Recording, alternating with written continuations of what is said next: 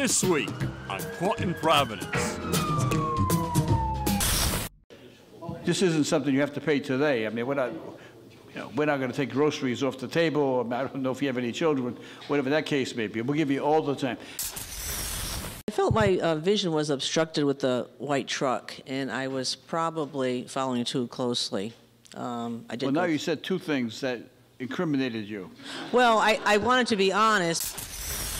You got confused? Yes. Uh, Tell me, why were you confused? Because it was too many, too many lights. You, No, what I- you- what I you majored said in- was, I if majored in got the music, fir- actually. If I got the first ticket, the second two never would have happened. because I- Exactly. Because That's- then I would have known I have to stop at a red light. Exactly.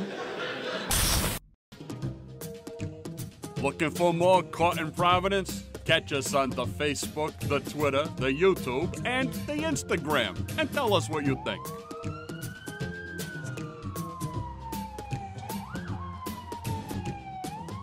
This is in Providence.